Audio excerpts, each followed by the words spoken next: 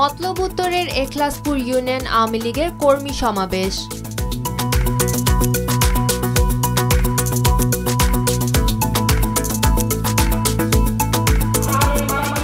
বাংলাদেশ আওয়ামী লীগের প্রেসিডিয়াম সদস্য ও সাবেক মন্ত্রী মোফাজল হোসেন চৌধুরী মায়া বীর বিক্রম বলেছেন, যথাসময়ে জাতীয় সংসদ নির্বাচন হবে। বিএনপিকে তারা দাওয়াত দিয়ে নির্বাচনে আনবেন না। তারা যদি নির্বাচনে আসার নামে নির্বাচন বানচাল করার চেষ্টা করে, তাহলে রাজপথেই তার জবাব দেয়া হবে। বুধবার বিকেলে মতলব উত্তর উপজেলার এখলাসপুর ইউনিয়ন আওয়ামী লীগ কর্তৃক কর্মী সমাবেশে প্রধান অতিথির বক্তব্যে তিনি এসব কথা বলেন।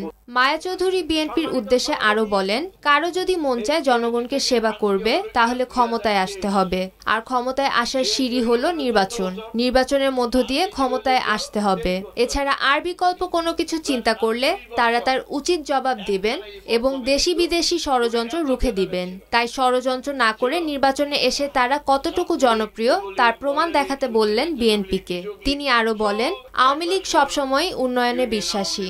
যতবার আওয়ামী লীগ ক্ষমতায় এসেছে, ততবারই উন্নয়নের জোয়ার বয়ে দিয়েছে। প্রধানমন্ত্রী শেখ হাসিনা উন্নয়নের জন্য দিনরাত কাজ করে যাচ্ছেন, তাই আওয়ামী লীগই হচ্ছে জনগণের আস্থার সরকার।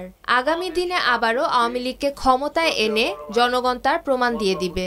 এখলাসপুর ইউনিয়ন আওয়ামী লীগের সভাপতি রেহান উদ্দিন নেতার সভাপতিত্বে ও উপজেলা ছাত্রলীগের সাবেক আহ্বায়ক মিনহাজ উদ্দিন খানের পরিচালনায় বিশেষ অতিথি হিসেবে বক্তব্য রাখেন মতলব উত্তর উপজেলা আওয়ামী লীগের সভাপতি অ্যাডভোকেট রুহুল আমিন, সাধারণ সম্পাদক ও উপজেলা পরিষদের চেয়ারম্যান বীর মুক্তিযোদ্ধা এম এ কুদ্দুস, ঢাকা মহানগর দক্ষিণ আওয়ামী লীগের সদস্য সাজেদুল হোসেন চৌধুরী দীপু, শাহজাহান প্রধান প্রমুখ।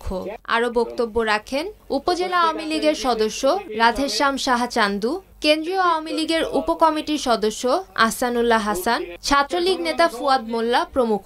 স্বাগত বক্তব্য রাখেন ইউনিয়ন আওয়ামী লীগের সভাপতি রেহান উদ্দিন নেতা। সভা শুরুতে পবিত্র কোরআন থেকে তেলাওয়াত করা হয়। এ সময় উপজেলা যুবলীগের সাধারণ সম্পাদক কাজী শরীফ হোসেন, ইউনিয়ন আওয়ামী লীগের সাধারণ সম্পাদক মোহাম্মদ শাহাদাত হোসেন ব্যাপারী, শামীম প্রধান সহ আওয়ামী লীগ, যুবলীগ, ছাত্রলীগ, বিভিন্ন নেতাকর্মীরা এ সময় উপস্থিত ছিলেন।